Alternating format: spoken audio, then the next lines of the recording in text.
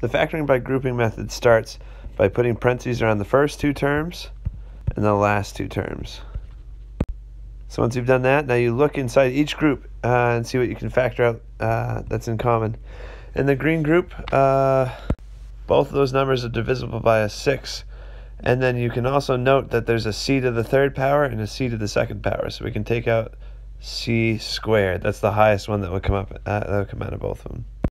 So look carefully at what I have uh, written in, in, in black. Because when you factor something out of a parentheses, you write what you can divide out of both of the terms in common out here, and then what's le left over goes inside. So when I divided this term by 6c squared, the 6 canceled out, and we had 3 c's divided by 2 c's. That left me with just 1 c. Same thing over here. I was dividing this by a 6c squared because that's what I saw in common.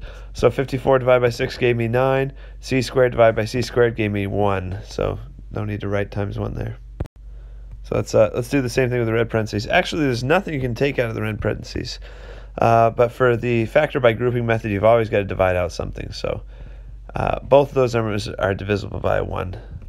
There was no, uh, in, in this one, there was a c and a 9. There's nothing in common, so we just divide it out of 1, so we can say we took something out of it. Okay, and when you factor by grouping, this should always happen. check out, sorry. Uh, check out, uh, check out the black parentheses. They're the same.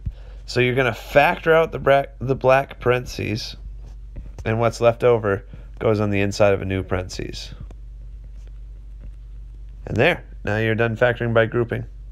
Uh, and to check your work, you could take this parentheses and multiply it to this parentheses. And when you do that, if you uh, multiply that out, you get what you started with. So we completed our, our objective.